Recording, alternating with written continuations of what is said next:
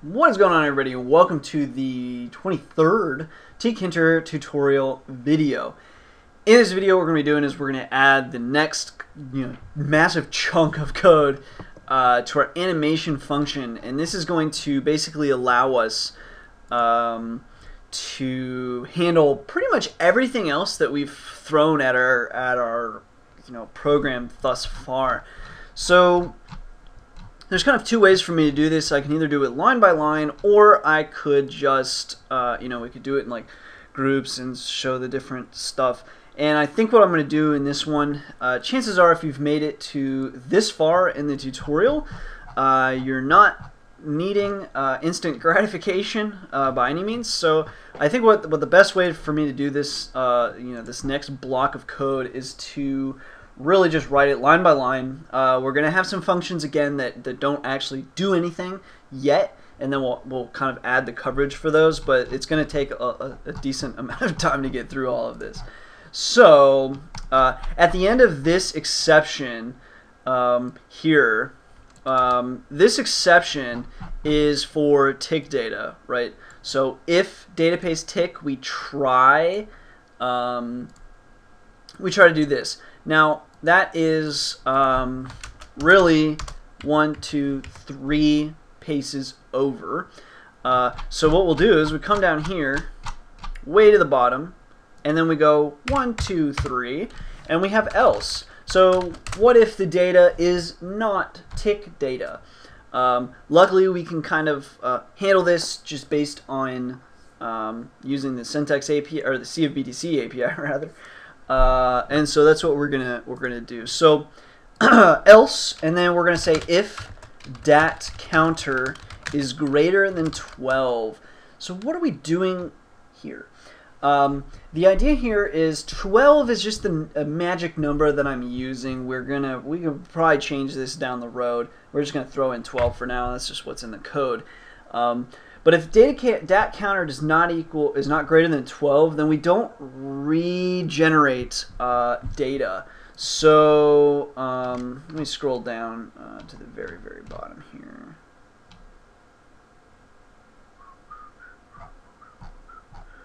Okay.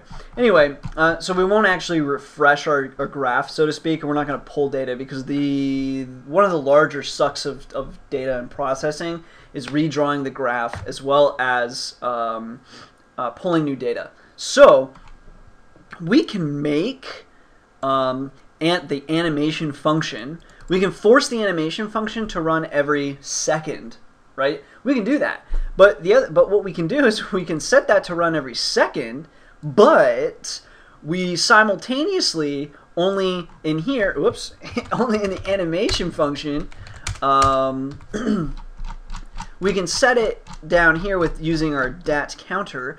Um, we can say, well, we only want it to run every 12 times, like every 12 seconds, basically, with 12. So that's kind of how we're doing it. Uh, what my idea is down the road is we can allow the user to say, I want this to update every minute or every five seconds, or one second. And the reason that's going to matter is using the the uh, the Sea of BTC API. So the general data is not going to really matter, but if you want to get like instant data, it's going to cause quite the load to Sea of BTC, and you will have to pay for that.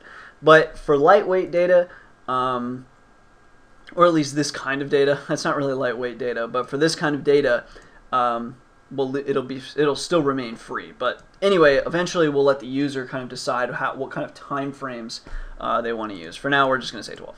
So if dat counter is greater than 12, what do we want to do? Well, we want to try, as always, and then we're going to go ahead and just pre-write our except. So accept exception as e print string e, and actually before string e, let's go ahead and say uh, failed in the non-tick animate. Okay. Now, try, what we're going to try is uh, Huobi uh, does vary just slightly between the other ones, but it won't be as big of a deal as, as it was with tick data. Don't worry. So we're going to say if exchange equals uh, Huobi or Huobi, I don't really know how you're supposed to pronounce that. Um, then we're going to say uh, if the top indicator equal, or actually is not equal none, um, we're going to say, man, I'm so itchy today. A equals plt dot subplot to grid, and then again, uh, this is a six by oops a six by four. The starting point here uh, for this one is one zero, and then row span is going to equal five, and col span will equal four. Uh, and then we'll just we'll take this copy, paste a2 uh, starting point 0, 0, row span um, 1. And then also we're going to share the axes here. So share x equals uh, a. Um, and that's it for a and a2. Um, if else, right, if top indicator does equal none, then we take this right here, copy, paste, and 0, 0, and 6, 4. So what are we doing here? In this code, we're basically uh, you know setting up the subplots. Uh, we're going to be doing the exact same thing for all the other exchanges. It just so happens with Huobi, uh, we don't have uh, the same. We're not going to have volume. So so that's why with Huobi it's it's very specific. So um, with with this, uh, we're setting up basically the subplots before we actually start throwing stuff at it. But you're going to see with the other exchanges, we're going to have many subplots. So uh, let's go ahead and uh, show that. So that was if exchange equals Huobi. So only for Huobi are we doing that. Otherwise, we're going to have um, some checks quite like this. So we'll take this right here. Um, else, and then actually that was a, there's probably a space there. So else if top indicator does not equal none, and bottom indicator uh, does not equal none, what do we want to do? Um, here, uh, the main graph is A, right? So A is going to be plt.subplot to grid. The grid is, as usual, it will be a 6 by 4. The starting point, this is A is the main graph, so the starting point will be 1 down, right? Because if there's a subplot above it, it would start at 0, 0. So the starting point here will be 1, 0. Um, the row span here uh, will be 3, and then the col span here will be 4. Next, um, we're going to say, because this is basically if, if we're using both indicators, so this also leaves a, a row right below it. Okay, so, and actually two, because we have volume data and we have maybe an indicator possibly. So now, we're going to say A2, and this will be our volume uh, equals this, and let's go ahead so we don't have to you know retype a ton, equals this exact same data. Uh, the start point for volume is actually 40. Row span is going to be 1. Col span stays the same. So that's volume. Uh, now let's copy this, uh, paste it, and in fact, let's go ahead. I, I, I, commented this in my in my main code, and I'd like to go ahead and do it again, just so people um, don't get confused by the code. Uh, so that's main graph. That was vol that's volume. Um, now A3.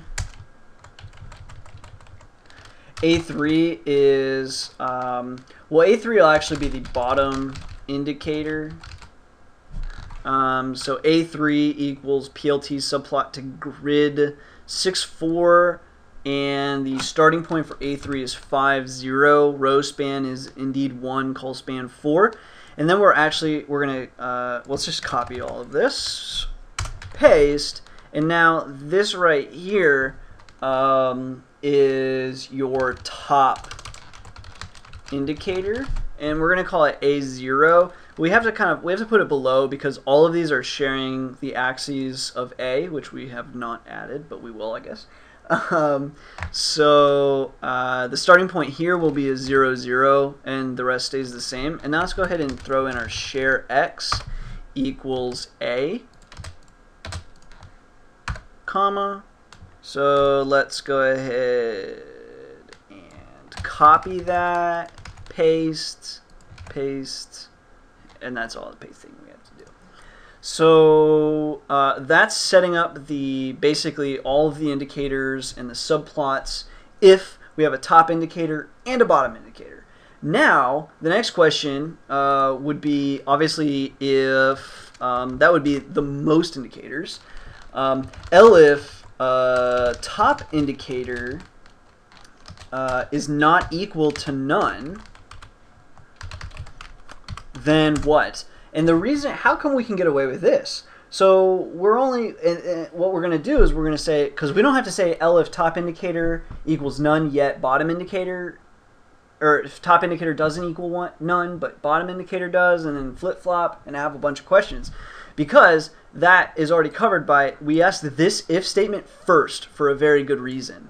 So if this statement isn't true, um, but this statement is true, de facto, it means we have no bottom indicator, so we don't have to worry about that. So the order does matter if, if when, it comes to your logic, so uh, just kind of keep that in mind. And that's also why we throw an elif statement in there. Anyways, um, so elif top indicator does not equal none.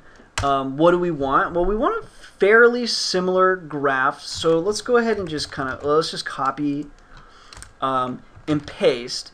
And we know we don't have a bottom indicator anymore, so I'll just delete that.